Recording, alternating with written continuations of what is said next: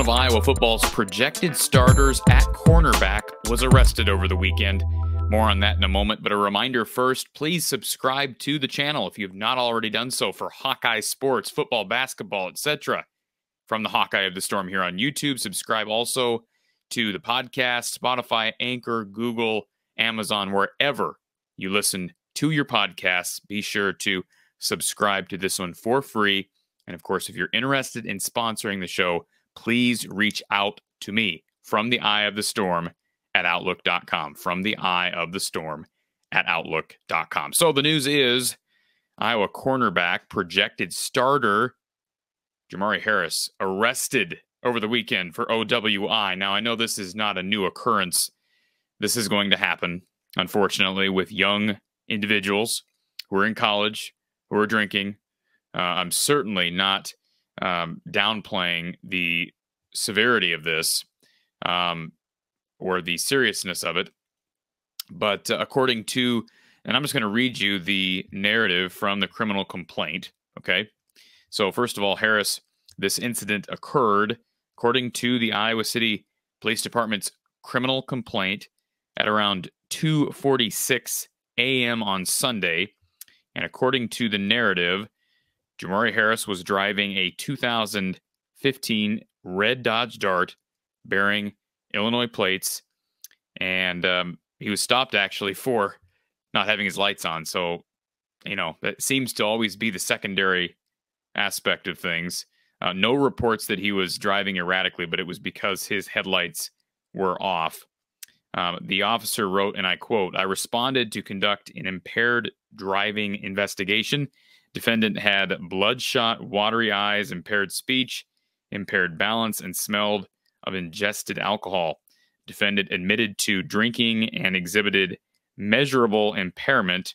His BRAC, uh, his initial BRAC, uh, came back at uh, 0.112, and then his data master test was at uh, 0.096, both over the legal limit. But the point is, um, Jermari Harris made a mistake, right? I mean, this is this is the reality of life. I'm not saying it's it's right. I'm not excusing it. I'm not saying he doesn't need to have consequences here, and he will have some consequences as a result of this arrest. He, according to everything that I read in the criminal complaint, it sounds like he was compliant. Um, no report that he resisted sobriety tests, uh, but he was arrested, taken to the Johnson County Jail, where he was later released. Now, Jermari Harris, uh, you know, as I'm reading through this earlier today, my first thought is this is a young kid. And he is a young kid. I mean, all these student athletes are young. But let's remember, Jermari Harris is entering his fourth year in college. Okay. He's entering his fourth year in college. So that's an aspect. He's an upperclassman, right?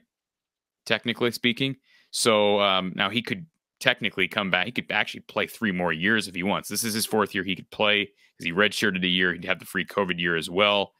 But as far as implications this year, um, the open practice this coming Saturday inside Kinnick Stadium, will Jermari Harris be participating in that? My guess is no. Uh, even if he was, if he had been participating in practice, if he hadn't been dinged up or anything like that, my guess is he will not be on the field. And I know the initial reaction from a lot of fans as well, he's going to be suspended for a game and he'll be back. And that may very well happen.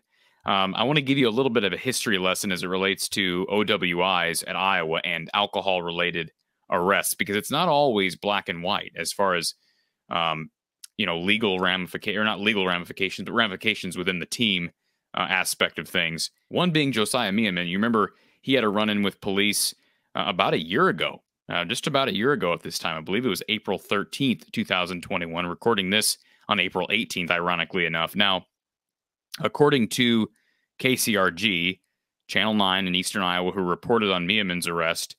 Uh, he had been charged with first offense trespassing, possession of a fictitious license or ID, disorderly conduct for fighting, violent behavior, public intoxication, interference with official acts. And let me remind you that uh, Josiah Meehan never got suspended formally for a game.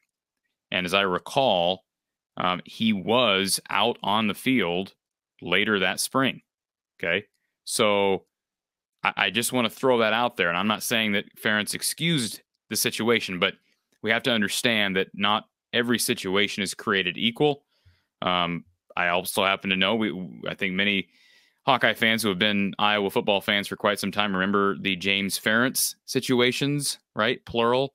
Uh, he had been arrested a couple of different times.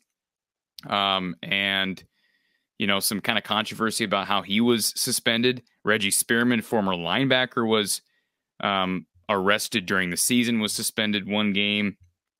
You know, Kyle Calloway uh, had been arrested for OWI. We, you know, Alaric Jackson, we know he was suspended for breaking team rules. Ihmir Smith Marsette had an OWI during, during the season. Typically, these things happen either during summer or during the season. So when they've ha- they haven't happened much during spring practice or leading up to spring practice. And really, the only example that I could come up with, Brandon Snyder is another one who um, had gotten a suspension because he had an OWI during the season. But the only other viable example that I could come up with was Josiah Meehan. And I know it wasn't OWI, but boy, that's a bevy of charges he had against him but it, it did happen in the spring. So he was suspended, we assume, for team activities. And I'd have to look back at the at the information that was published on Kirk Ferentz's decision regarding Meehan, but he was suspended for activities for a while and then came back and never actually missed live real game action. So the bottom line is Jermari Harris made a mistake. You're not going to cancel a kid. You're not going to write a kid off for that. Um, he should know better, but you, you you live with the consequences, right?